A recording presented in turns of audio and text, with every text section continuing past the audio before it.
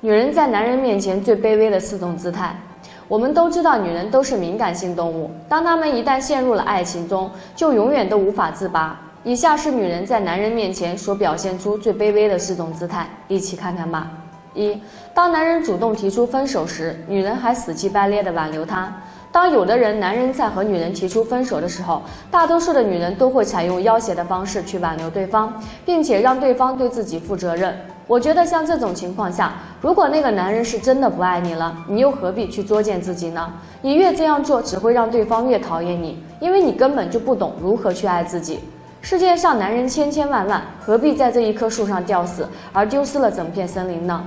离开他才是你做的最正确的决定。所以，当一个女人在你面前所表现时，就能够看出她是非常自卑，总是会想方设法去留住你。不管牺牲多大的代价，只求你能够回到她的身边。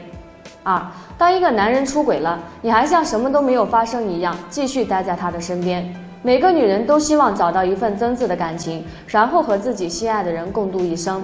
在婚姻中，女人往往都是弱势群体，为了能够挽留住身边的一个男人，总是会睁一只眼闭一只眼。即使当这个男人出轨了，她也会选择原谅他，并且和他继续像往常一样对生活下去。不管这个男人对外面的小三小四多好，她都不介意，只要每天能够见到他就知足了。只要这个男人不和她离婚，哪怕自己就是一个妾的身份，她都很开心。往往这种女人现如今真的很少，就是因为太爱这个男人了，所以才会在他的面前表现得很卑微。三，自认为把自己身体献给男人，就能够把他一辈子拴在身边。很多女人为了能够和自己心爱的男人生活一辈子，她每天都会用自己的身体来满足眼前这个男人。她觉得只要自己每天都主动一点，把这个男人伺候好，这样就能够让这个男人心甘情愿地待在自己身边。像这种女人，此时已经失去了理智。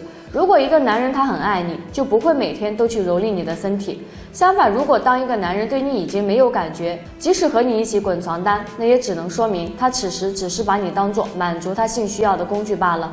因为在他的眼里，觉得你就是婊子，他根本就不会去珍惜你，反而还会变本加厉的欺负你，直到有一天你主动离开为止。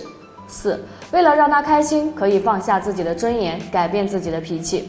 我们每个人一定要活出自己的样子，每个人都有属于自己的小个性和脾气。在我们还是孩子的时候，父母就告诉我们一定要改改脾气。可不管他们怎么说，我们都不会去听。直到有一天我们遇到了自己喜欢的人，就因为他们的一句话，我们就可以立马放下自己的尊严，去为他们改掉自己的脾气，从而让他们可以注意到我们。